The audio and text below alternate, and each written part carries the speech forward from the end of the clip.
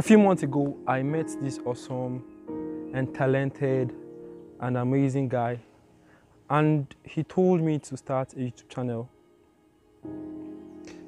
And I hesitated. And I put it this long. That was a month ago, and I'm here.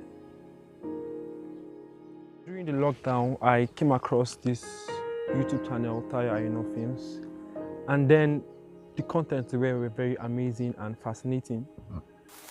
And as a young person growing up, I always wanted to explore the world and then share my passions and my ideas somewhere on the platform, but I didn't know how to do it because I didn't have any idea. One day I, I took my phone just to record a very regular video of me walking around the zoo. So I made this video and then edited it with an app and then posted it on Twitter. And I got many reactions. And before I forgot, I also tagged Tayo Aina and then he responded. And then his response was he was glad I got motivated by him to create such. So to cut the long story short, a few months after I met him, he came to my city, just where I stay, to film. So coincidentally, I met him. And then I mentioned I was the one that tagged him in the video he saw on Twitter. And he was very happy.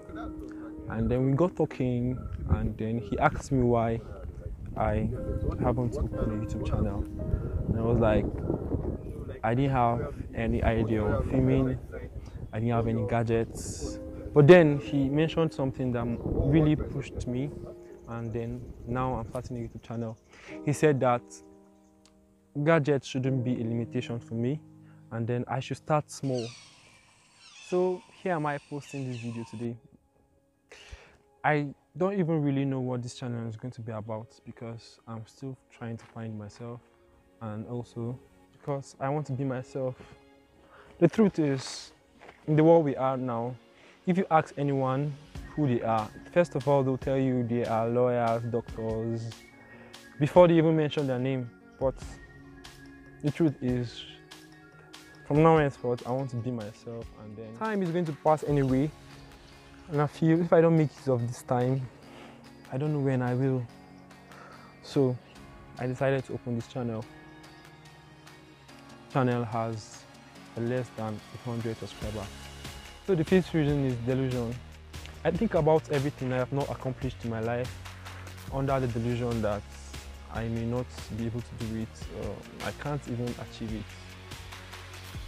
So right now I have overcome that and then I decided to open this channel and then also swing the pendulum. So I really hope to love myself more and then find my passion because I am ready to do so. Yeah, I'm ready to do so.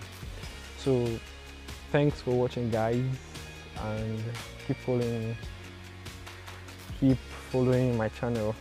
Thanks for watching and I hope you all subscribe to my channel and follow what this channel is all